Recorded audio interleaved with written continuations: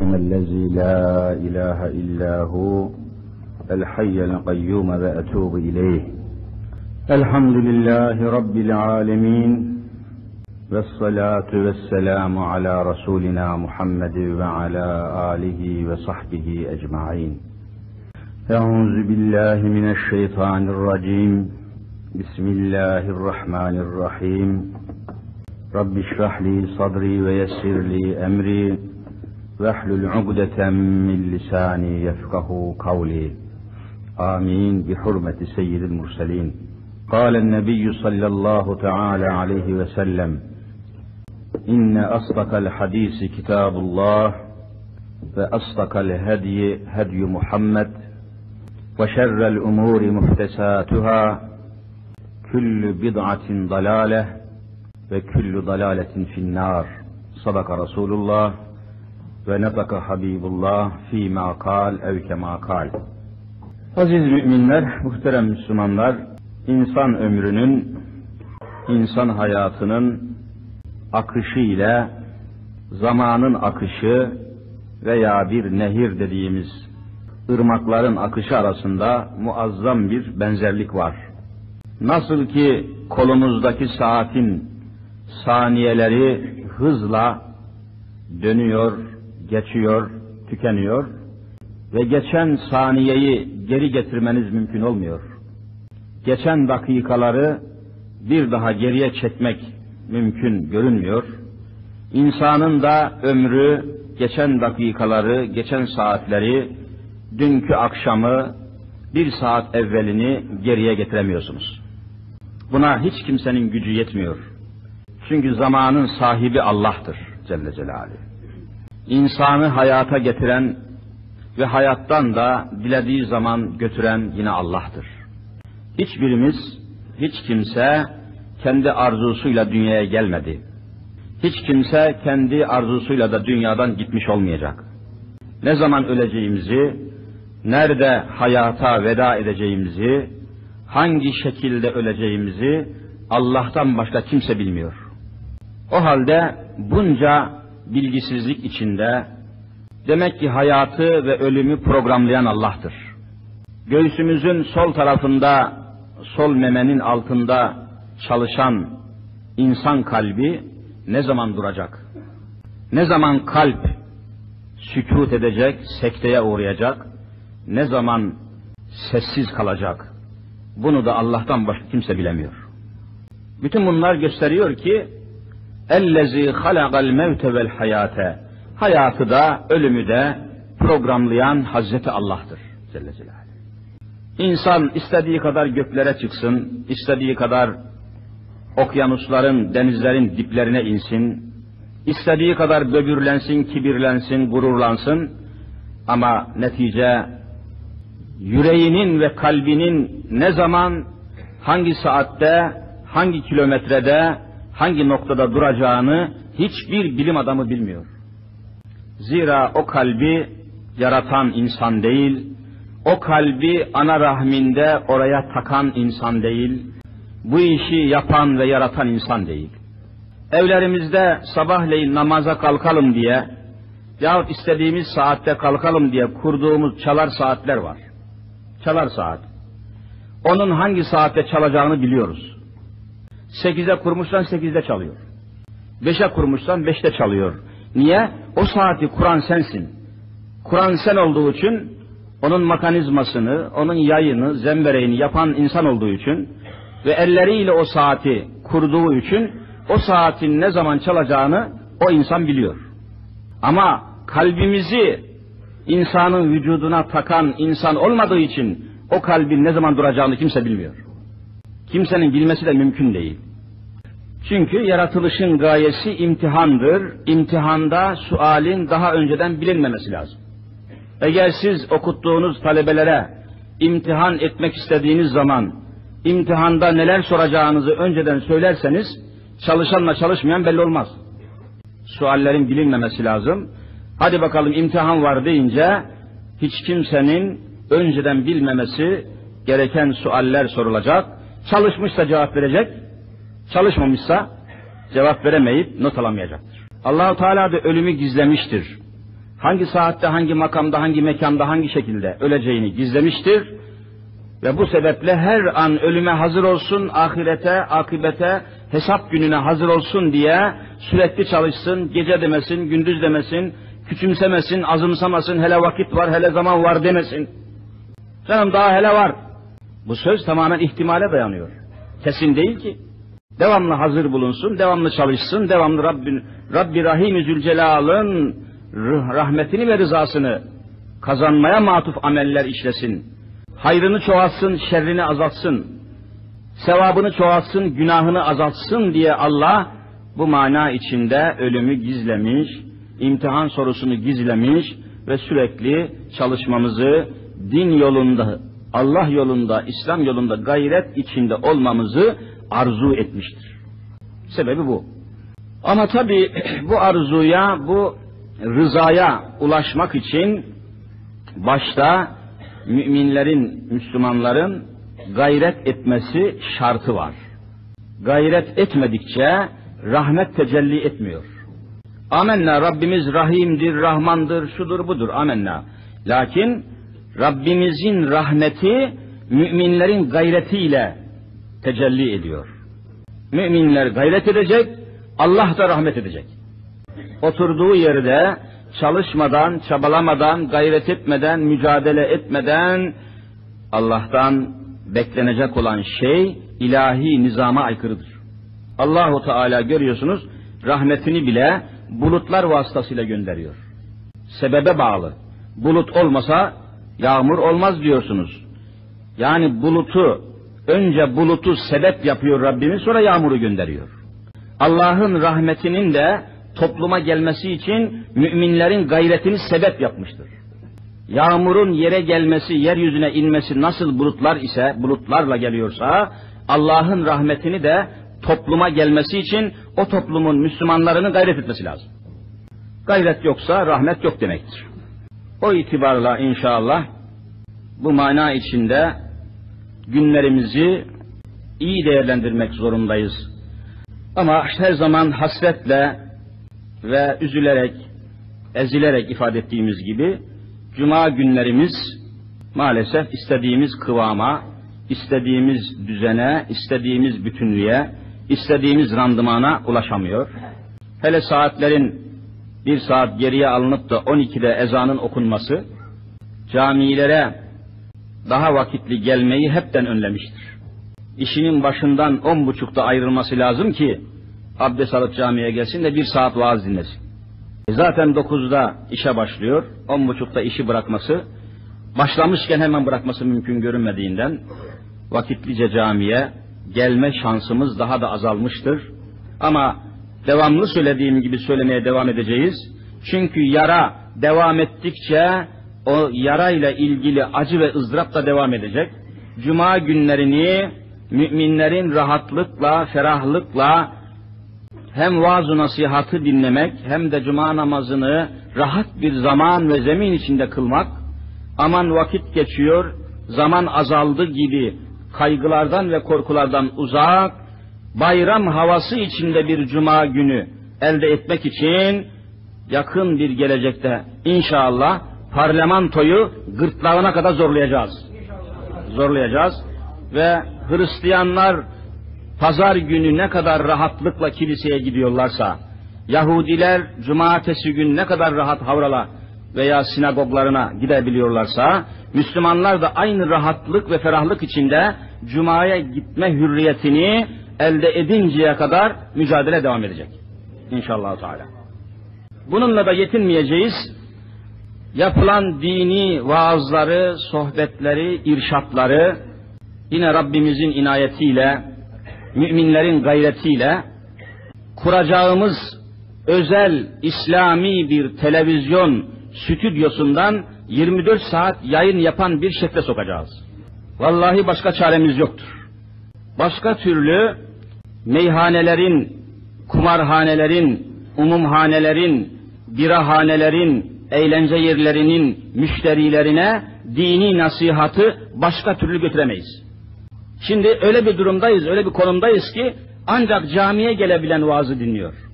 E, camiye gelenler gelmeyenlerin yanında devede kulak bile değil. E, camiye gelenlerin vaaza ihtiyacı var da camiye gelmeyenlerin vaaza ihtiyacı yok mu? Ben şöyle ifade ediyorum, camiye gelenlerin vaaz nasihata ihtiyacı bir ise, camiye gelmeyen veya gelemeyene ihtiyacı yüzde bin, yüzde iki bin ihtiyacı var. O halde biz daha muhtaç olanlara vaaz etmemiz gerekirken, ihtiyacı az olanlara vaaz ediyoruz. Kan kaybedenlere kan vermek lazım gelirken, hiç kan kaybetmeyenlere kan veriyoruz. Benim şuradaki vaazımı kan vermek kabul edin, kan vermek, kan, kan kaybeden adamlara verilir. Meyhanedeki insanlar, kumarhanedeki insanlar kan kaybeden insanlar gibidir. Vaaz-ı nasihatı onlara yapmak lazım. Size vaaz bir manası yok ki. En azından siz bunca velveleden, dünyevi meşgaleden çıkmış buraya kadar gelmişsiniz. Bir önceliğiniz var. Bir öncülüğünüz var. Kıbleyi tanımışsınız. Kabe'yi tanımışsınız. Abdest almışsınız. Yolunuzu bulmuşsunuz. Ama milyonlarca insan meyhanelerde cehenneme korkunç şekilde adım atıyor. Onların vaaz nasihata ihtiyacı vallahi sizden fazla.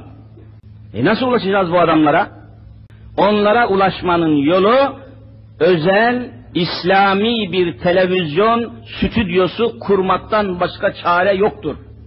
Çünkü orada yapılan konuşmayı istese de istemese de meyhanelerde de o cihaz var, kumarhanelerde de o cihaz var.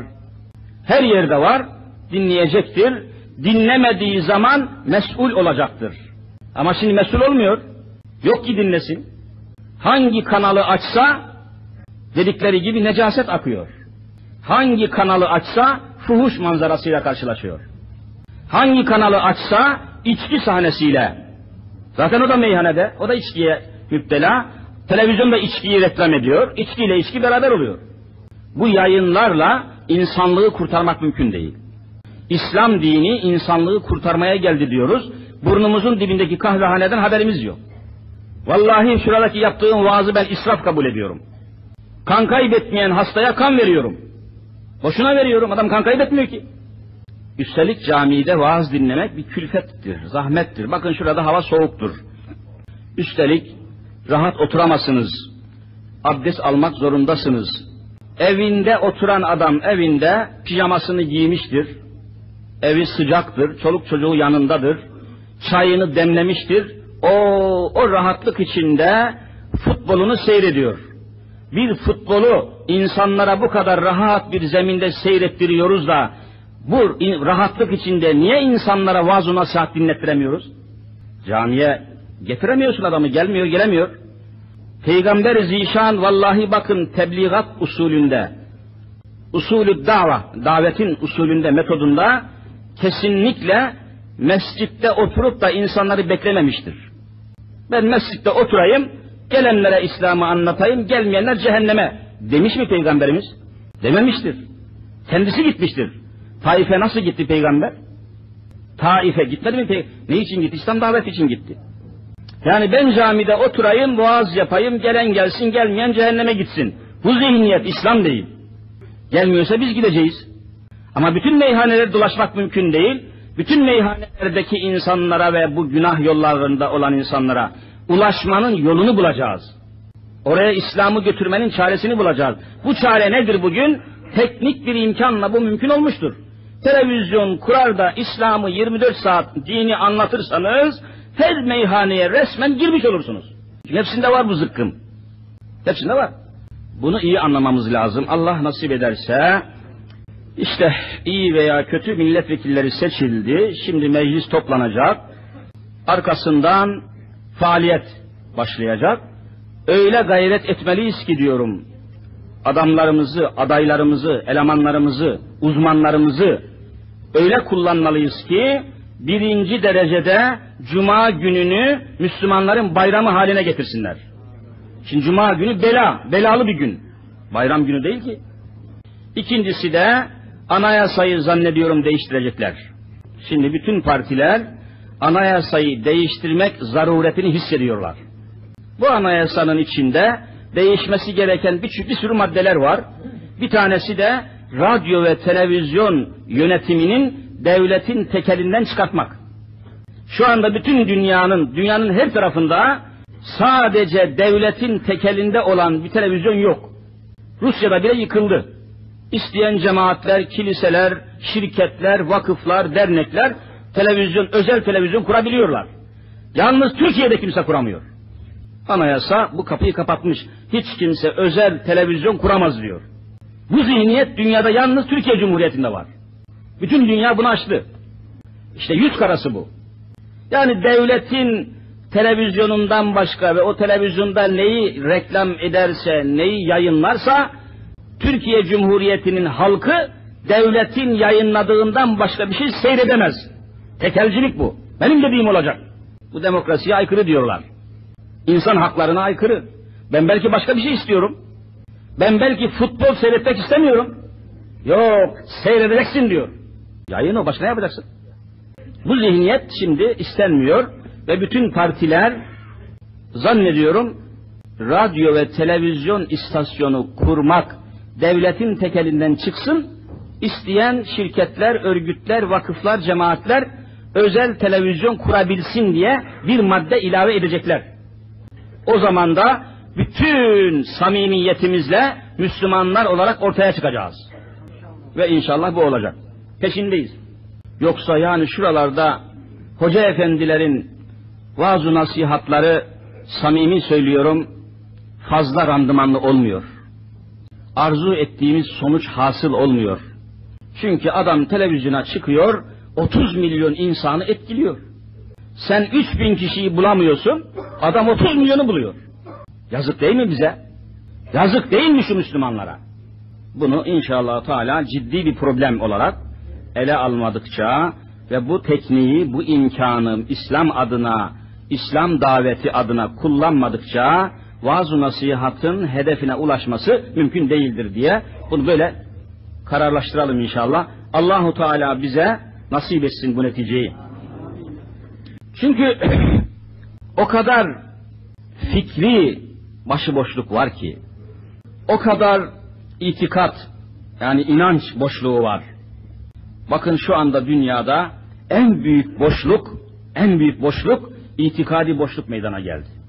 Koskoca bir zamanların süper gücü Rusya ve Rusya'daki rejim diyelim, komünist rejim, ateist, Allah'a inanmayan ve Allah'a inanmamak, hiçbir dine dayanmamak temeliyle kurulan komünist devlet yıkıldı.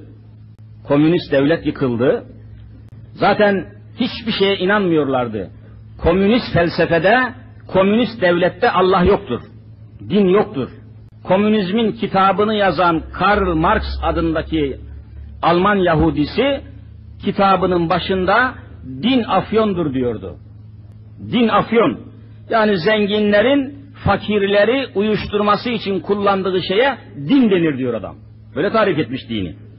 Ve bir dinsizlik üzerine Rus devletini, Sovyet Cumhuriyeti'ni kurmuştu, çöktü, milyonlarca insan şimdi bir boşluğa düştü. Boşluktalar adamlar. Bu boşluktaki insanlara neden İslam'ı veremiyorsunuz?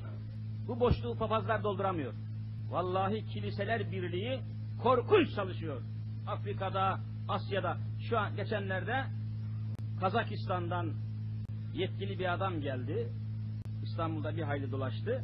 Bir konuşmasına biz de şahit olduk. Diyor ki yetişin imdadımıza 60 milyon insan diyor papazların kucağına düşecek. Gelin bizi kurtarın diyorlar.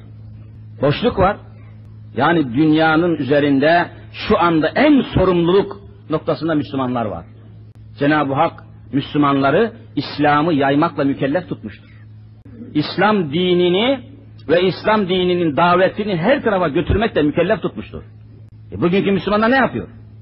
Sahabe-i kirama bakın, öyle bir gayret içindeler ki, bir günde on tane insanı İslam'a çekememişlerse, her gün on kişiyi, her gün bir Müslüman, her gün bir sahabi, sahabeden bir kişi, her gün on tane gayrimüslim insanı bulmadıysa, on tane Müslüman olmayan insana İslam'ı götürüp anlatmadıysa, eyvah bugünümüz boşa geçti diye ağlıyorlardı. En azından her gün on kişiye İslam'ı götürebilmenin aşkı, vecdi, gayreti içindeydiler. bugünkü kadar dünya İslam'a bu kadar muhtaç değildi. Doğuda batıda muazzam boşluklar meydana geldi ve şimdi insanlık İslam'ı istiyor. Koskoca Afrika, koskoca Asya kıtası olduğu gibi geçenlerde Arnavutluğun başkanı mıdır neyin nesi ise Ramiz Aliya diye bir adam geldi. Ve cuma namazını Fatih Camii'nde kıldılar. Adam yalvarmış, bizzat şahit olan arkadaşlarımızla toplantıda, koskoca Arnavutluk diyor komünizm çöktü, bir inanç boşluğu var, İtalyan papazları geldi memleketin insanlarını kucaklıyor, gelin bizi kurtarın diye yalvarmış Ramiz. Ey Müslüman Türkler gelin bizi kurtarın diyorlar adamlar ya. Vallahi yalvarıyorlar. Bizi papazların kucağına atmayın. Fakat Müslümanlar nerede? Müslümanların hali, Müslümanların tavrı nedir? Müslümanların gayreti, mücadelesi ne içindir? Şu seçimlerde gördünüz, dün gazetede okudum, Ankara'da bir milletvekili, milletvekili olmak için 11,5 milyar lira para harcamış. Adam neye çalışıyor görüyor musun? Hiçbir, adamın hiçbir sevdası yok. Sırf milletvekilliğini kullanıp trilyonlar kazanmak. İslam davası nerede? Allah davası nerede? Hz. Muhammed Mustafa'nın tebliğatını yayma gayreti nerede? Müslümanlar, 11,5 milyar lira masraf ederek milletvekili oldum diyor. Kendisi söylüyor. E, kaz gelen yerden tavuk esirgenmez. Demek bu adam canlı okuyacak bu milletin. O paranın on mislini çıkartacak bu milletin kesesinden. Siyaseti ne için yapıyorlar görüyorsunuz adamlar. E şimdi dünya insanları Asya'sıyla, Afrika'sıyla, Amerika'sıyla bugünkü kadar İslam'a bu kadar muhtaç değildi. Bunu vermek lazım. Bunun tedbirini, bunun finansmanını, bunun yollarını, bunun tertibini almak lazım. Yoksa huzur-u ilahide Rabbimize hesap veremeyiz. Çünkü şimdi mesela Müslümanın gayesi nedir dünyada? Müslüman olduğunun gayesi nedir? Bunu hepiniz biliyorsunuz. Müslüman yeryüzünde niçin var? 6 milyar insan var dünyada. 6 milyar. Bu 6 milyar insanın içinde bir buçuk milyar da Müslüman var. Peki bu Müslümanın sebebi hikmeti ne? Niçin Müslüman? Gayesi ne Müslümanın? Efendim mal üretmek. Efendiler ne kadar uğraşırsanız uğraşın Japonya'nın ürettiği kadar mal üretemezsiniz. Şu anda. Adam üretiyor. Mesela saat yapıyor. Avrupa'daki İsviçre dünyanın en saatçı, saat üreten milleti İsviçre'ymiş bir zamanlar. Sonra Almanlarmış. Japonlar bir üretim yapıyorlar. Avrupa'ya saat satarken kiloyla saati satıyorlar. Tek tek değil. Kantara koyuyor. Çuval dolusu saati kantara kiloyla saat satınca maliyet ucuz tabii. Düşük fiyattan verdiği için Avrupa'nın saat üretiminde canını okuyor. Müslümanın yeryüzünde varlık sebebi eşya üretmek değildir. Bu demek değildir ki eşya, madde, dünyevi nimetlerden mahrum kalın anlamına almayacaksınız. Ama gaye bu değil. Gaye yeryüzünde İslam'ı çoğaltmak, yeryüzündeki Müslümanların sayısını artırıp İslam'ı yaşanır hale getirmek. Gaye budur. Eşyanın varlığı buna bağlıdır. Bir Müslüman servetini, varlığını, şöhretini, nefesini, nefsini, servetini Allah'ın dini yayılsın diye harcamıyorsa o Müslümanın servetiyle Yahudininkinin arasında bir fark yoktur. Çünkü hedefi yok Müslümanın. Hedef yok. Servetin varlığının hikmeti Allah yolunda kullanılsın ve ma halaktul cinne vel insa illa liya'budun ayetinin hükmü yerine getirilsin. Allah insanları ve cinleri bana kulluk etsinler ve İslam'ı yaşasınlar diye yarattım diyor. Yoksa üretim olacak, tüketim de olacak. Ama yeryüzünün sulhünden, saadetinden Müslümanlar sorumludur. Çünkü İslam onun için gelmiştir. Bugün Hindistan'da 800 milyon Hindu, Hint milleti öküzlere tapıyorsa bunun sorumlusu Müslümanlardır. Niye İslam'ı götüremediniz? Hocam sen neden bahsediyorsun? Hindistan ta dünyanın neresinde? Biz Dudullu'da içki satan bir dükkana bile ulaşamadık daha. Niye bu içkiyi satıyorsun diyemedik. Dudullu şurası. Adım başı içki satan büfe var. Kardeşim Allah'ın haram ettiği bu içkiyi satma diyemedik, ulaşamadık o adamlara. Burnumuzun dibinde namaz kılmayanlar var. evimizin içinde sabah namazına kalkmayan gençler var.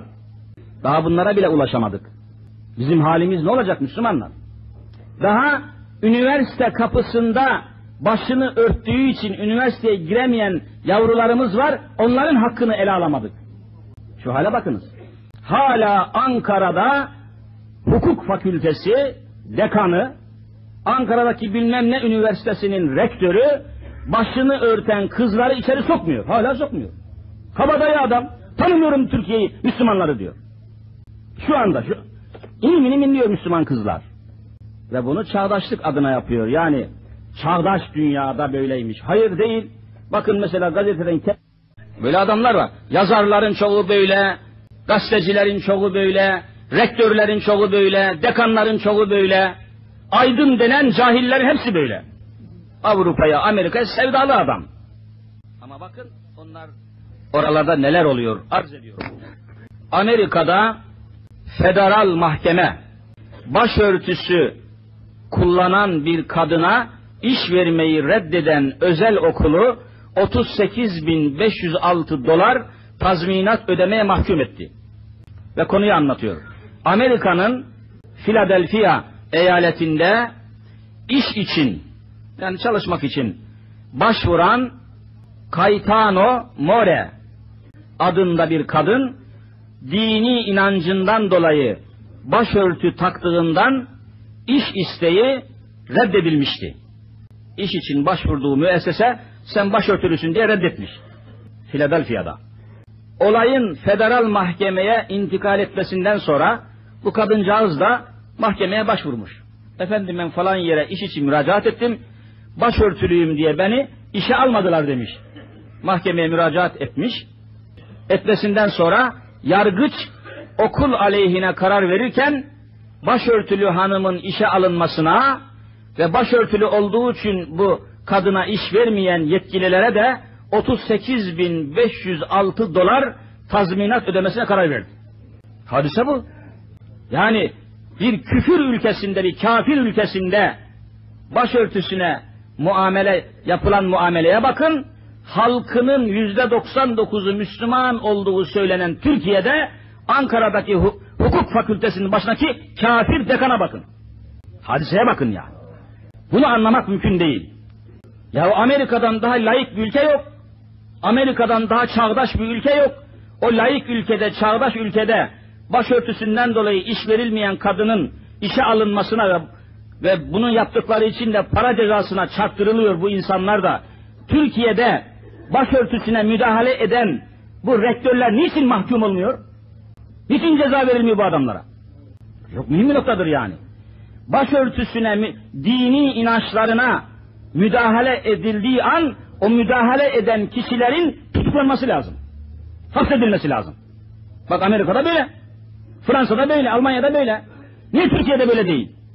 Üstelik halkının yüzde 99'u Müslümanmış. Yani halkının yüzde 99'u Müslüman olan ülkede başörtülü bir kız üniversiteye gidemiyorsa o memleketteki Müslümanlara kargalar bile güler. Kargalar bile güler bu nispete. E biz Müslümanlar daha bunu halledebilmiş değiliz. Daha nereden Azerbaycan'a İslam'ı götüreceksin? Daha nereden Kazakistan'a, Özbekistan'a İslam'ı götüreceksin? Sen gidemiyorsun, papazlar gidiyor. Daha sen üniversitenin kapısındaki başörtülü kızın azabını ve ızdırabını dindirememişsin. Bizim Müslümanlığımız nedir? Türkiye'deki Müslümanlar gerçek Müslüman mıdır? Vallahi değildir. Yeminle söylüyor. Sahte Müslüman, ilgisiz Müslüman, bilgisiz Müslüman, şuursuz Müslüman, isim Müslümanı, patent Müslümanı. Hacı, ne hacısı? Haccın hakikati, haccın hikmeti, haccın manası hazmedilmiş değil ki. Gidiyor Mina'da üç gün peş peşe şeytanı taşlıyor, geliyor burada şeytanı kucağına basıyor. Ne haccı kardeşim, ne İslam'ı ya? Söyletmeyin bizi Allah aşkına. E bütün İslam dünyası şu anda darmadağını, perişan, Amerika'nın ipoteği altında, Fransa'nın, İngiliz'in taktikleri, tertipleri altında görülmemiş bir boşluk var. Bu boşluğu doldurmak ve bütün alemi İslam vallahi Türkiye'ye bakıyor. Bütün alemi İslam, Fas, Tunus, Cezayir, Pakistan, Endonezya, Suudi Arabistan vallahi Türkiye'de Müslümanların uyanmasını bekliyor. Biz bunu görüyoruz. Geçen gün Suudi'den bir arkadaşımız geldi. Orada imamlık yapıyor. Bütün camileri dolduran Suudlu Müslümanlar Türkiye ne zaman ayağa kalkacak diyormuş. Vallahi alıyorlar adamlar ya. Yok başka dünyada kim kim bu alemi İslam? Niye bunu söylüyor? Çünkü efendiler bakın mesela bugün Yugoslavya niye buraya geliyor? Niye Arnavutluk Cumhurbaşkanı Ramiz Aliya niye buraya geliyor? Çünkü tarihte bakın hemen arz edeyim. Tarihi bir vesika var yanımda. Şuradan okuyayım.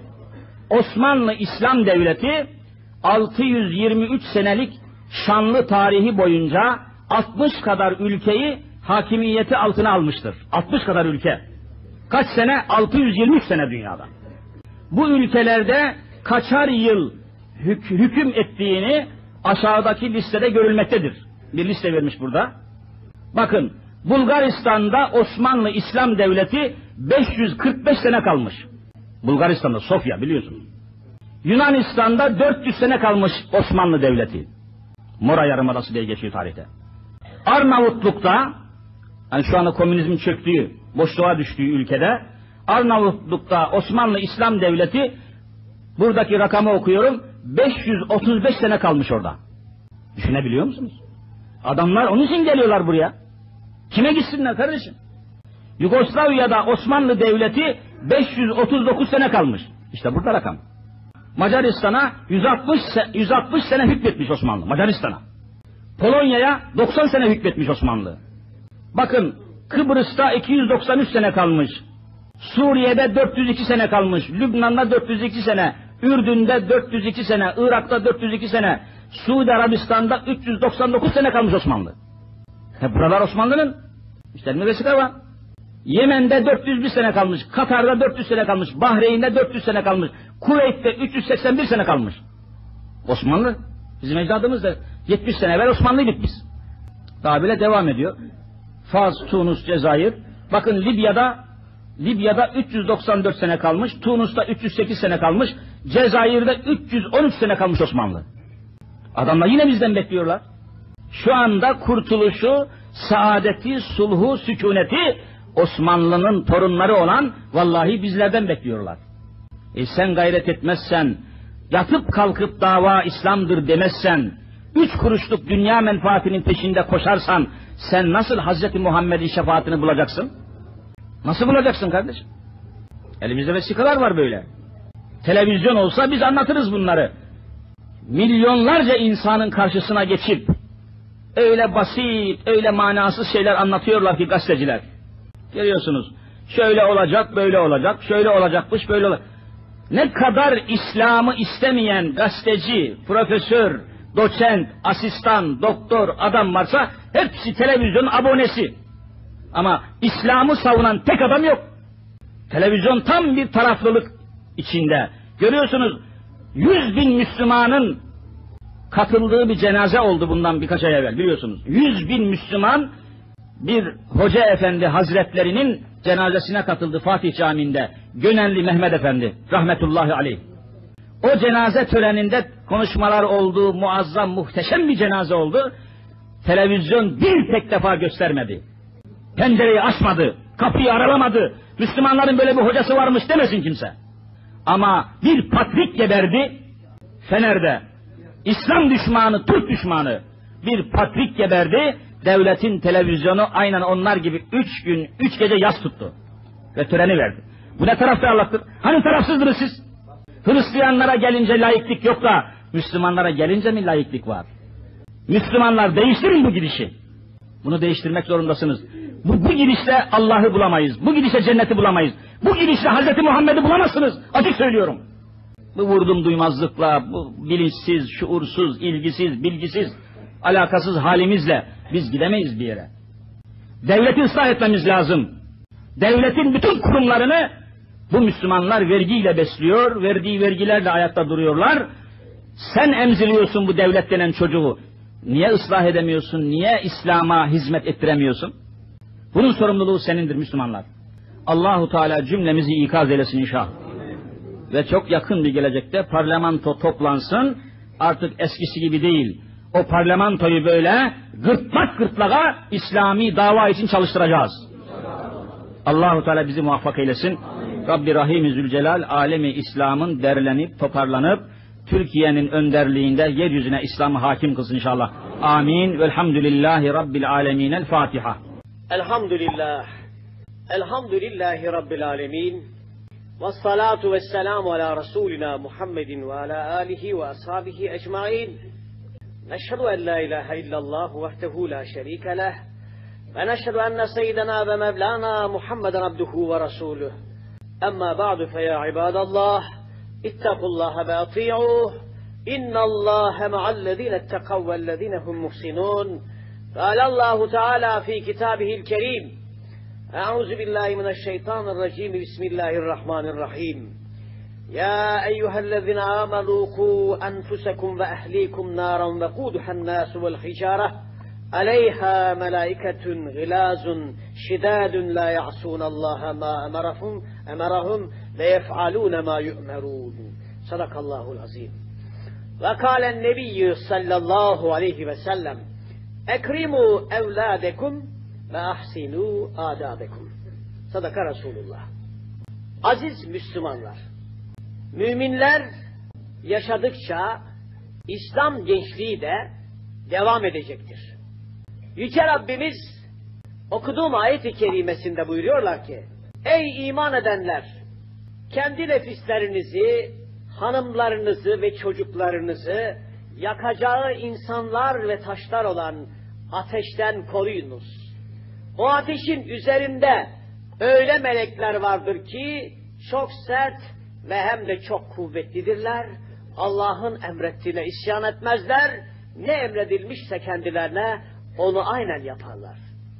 Sevgili Peygamber Efendimiz de evlatlarınıza ikram ve ihsan ile muamele edin.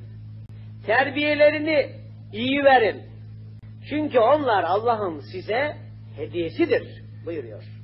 Bundan sonra aziz cemaat, bundan sonra okuyacaklarım da yine sevgili peygamberimizin bize bu noktalarda İslam gençliğinin yetişmesi hususunda bizlere öğütleridir.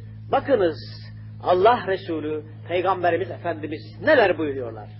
Evladınızı geçim korkusuyla öldürmeyiniz. Onları da sizi de biz rızıklandırıyoruz. Onların öldürülmeleri pek büyük bir günahtır. Her çocuk İslam dinini kabul edecek ruhi bir vasat içerisinde yaratılmıştır. Ancak ona ona ana babalar çocuğu Hristiyanlaştırır, Yahudileştirir veyahut da ateşe tapan bir insan haline getirir. Evinde çocuğunun terbiyesiyle meşgul olup oturan Müslüman kadını cennette benimle beraberdir. Dinini bilecek, dünyasını kazanacak kadar bilgi, kadın erkek her Müslümana farzdır. Bir kimsenin üç kızı veya üç kız kardeşi yahut iki kızı veya iki kız kardeşi olup onları güzel bir şekilde yetiştirir ve himaye ederse onların haklarına riayet hususunda Allah'tan korkarsa ona cennet vardır. Hani derler ya, dinsizler, Müslümanlığa karşı olanlar, Müslümanlar kadına kıza kıymet vermez diye söylerler ya, siz bunu onlara söyleyin. Müslümanlığı getiren, öğreten, bize emanet eden sevgili Peygamberimiz Muhammed Mustafa Aleyhisselam böyle söylüyor görüyorsunuz. İki kızını büyüten, üç kızını büyüten, iki kız kardeşini yetiştirip, yetiştirip hayırlı bir biçimde dinini, kitabını bilerek yetiştirip, onu da hayırlı insanlarla evlendiren ana babaların cennette olacağını haber veriyor kainatın efendisi. Hiçbir ana, baba çocuğuna güzel ahlaktan daha hayırlı bir şey vermemiştir. Gerek kendi ailesinden olan ve gerek bir başka aileye mensup olan bir yetimi terbiye edip büyüten, ihtiyaçlarını garantileyen kimselerle cennette yan yanayız diyor Peygamberimiz. Ana babanın çocuğuna duası bir peygamberin ümmetine yaptığı dua gibidir. Çocuğun terbiye usulünü de peygamberimiz şöyle belirtiyor. Yumuşaklık ve şefkatli muamele hangi şeyde bulunursa o şeye güzellik kazandırır. Hangi şeyden uzak kalırsa o şeyi kötü ve çirkin yapar. Kimin çocuğu varsa onunla çocuklaşsın. Çocukla, çocuk gibi olsun. Nasıl seviyor görüyorsunuz çocuklar Allah Resulü. Yedi yaşındaki çocuklarınıza namaz kılmayı emredin. On yaşına bastıkları halde kılmak istemezlerse onları hafifçe cezalandırın ve bir arada yatırmayın. Yani yedi yaşından sonra kız ve erkek çocuklarının bir, bir arada yatırılmaması gerektiğini de Allah'ın Resulü bize bildiriyorlar. Cenab-ı Hak Lokman suresinde de bize bir örneği veriyor. Lokman aleyhisselam oğluna vasiyetine, vasiyetinde şöyle söylüyor. Ve Kur'an-ı Kerim bize bunu naklediyor. Yavrum Allah'a ortak koşma. Yani Allah'a tek ve bir tane. Ana babana teşekkür et. Onlara dünyada iyi bir şekilde sahiplik et. Sahip olmak, sahip. Anası babası var, ne selam var, ne haber var, ne hatır sorma var, ne ilgilenme var. Böyle değil. Sahip olacak. Anasına babasına sahip olacak. Yapılan iyi veya kötü iş bir hardal tanesi ağırlığında olsa da Allah onu meydana çıkarır. Ve sahibini muhakeme eder. Yavrum namazı gereği üzere kıl. Görüyorsunuz namaz sadece bizim ümmetimize değil, Lokman peygamberin ümmetine de farz olmuş. Oğluna o da böyle anlatıyor. İyiliği emret ve fenalıktan alıkoy. Bu hususta sana isabet edecek eziyete katlan. Yani insanları doğru yola çağırırken, kötü yollardan uzaklaştırmak için uğraşırken, bu vazife yapacaksın, bu cihattır. Bu cihadı yaparken sıkıntılar çıkacak karşına. Onlara diyor katlanacaksın, sabret. O eziyetlere katlan. İçki satma dediğin zaman bakkal sana ne derse, kızma ona. Başka bir gün bir daha söyle. Başka bir gün bir daha söyle. Bir daha söyle. Başka ne yatsın, ne satsın ki kar etsin onu da söyle. Alternatifini de söyle. İçki yerine ne satsın? Adam bir şey satacak illaki. Hırsa kapılmış, çok kazanacak. Hırslı, dünya hırsı esiri olmuş. Onun için hayırlı yolları da onlara göstermemiz gerekiyor. İnsanlara yüzünü kibirlenerek çevirme ve yeryüzünde çalımla yürüme. Yürüyüşünde mütevazi ol. Allah büyüklük taslayan kimseyi sevmez.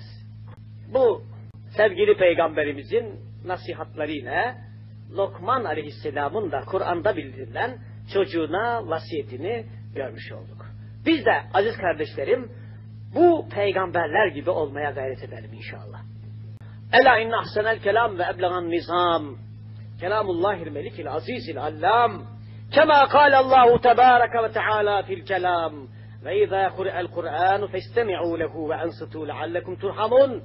قال النبي صلى الله عليه وسلم التائب من الذنب كمن لا ذنب له. أستغفر الله العظيم وأتوب إليه وأسأل الله لي ولكم التوفيق. الحمد لله الحمد لله المنعوت بصفات التنزيه والكمال وأشهد أن لا إله إلا الله. واشهد أن محمدا رسول الله. إن الله وملائكته يصلون على النبي. يا أيها الذين آمنوا صلوا عليه وسلموا تسليما. اللهم وارض عن الأربعة الخلفاء الراشدين حضرة أبي بكر وعمر وعثمان وعلي. وسائر الصحابة والتابعين والأئمة المجتهدين رضوان الله تعالى عليهم أجمعين.